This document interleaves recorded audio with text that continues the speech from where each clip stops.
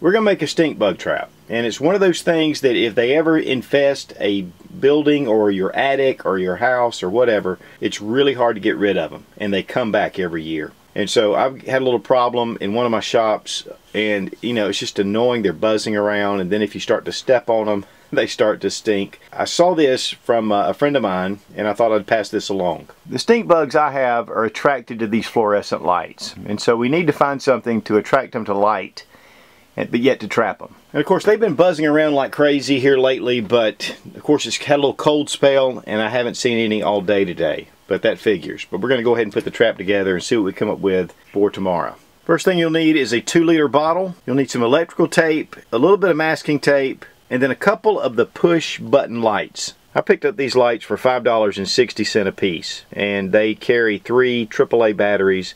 Just push it on, turn it off. First thing I'm going to do is cut this about a third, making it as even as you can. It's not an exact science. Obviously. This one still had a little water in it from when I rinsed it out. Just going to dry it out. Not that it's going to make a difference. You want to put black tape around the bottom. And uh, what this does, it shields the light out so it keeps the bugs from hanging around the outside of the, the bottle. Okay, now that I've got that completed, I'm going to go ahead and put my light in. You don't have to activate it to turn it on. I'll show you how to do that in a minute. Now we're going to place our other piece, giving it a little bit of room right there. And then we're going to tape it. Just around the seam.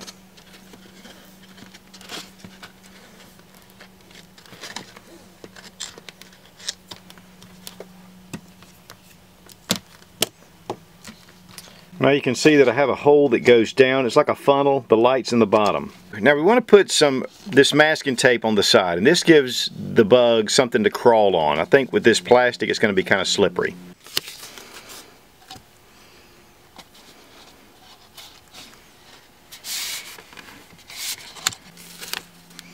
They can obviously fly into this as well, but they like to crawl around.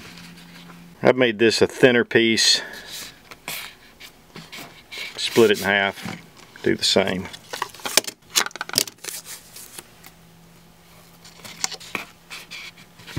Now here we have our trap complete. Just take some kind of long object. I'm taking a regular pin. I'm going to go through the top hole and just push down.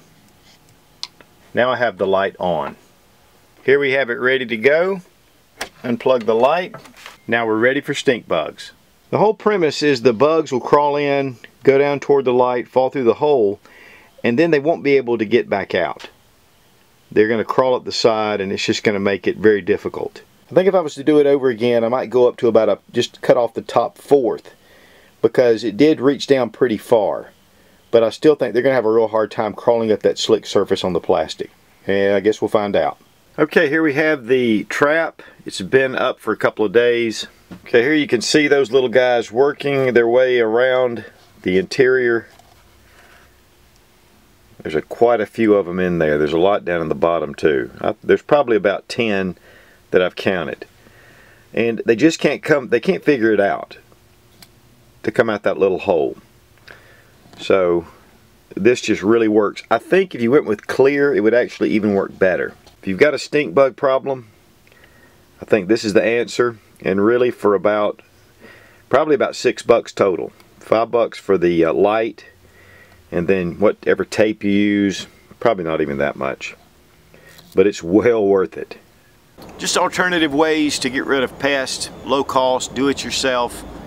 But really as far as a survival situation you start smashing these things you'll think you're gonna die. Be strong be of good courage. God bless America. Long live the Republic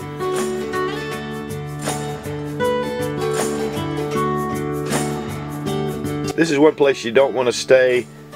The Stink Bug Hotel.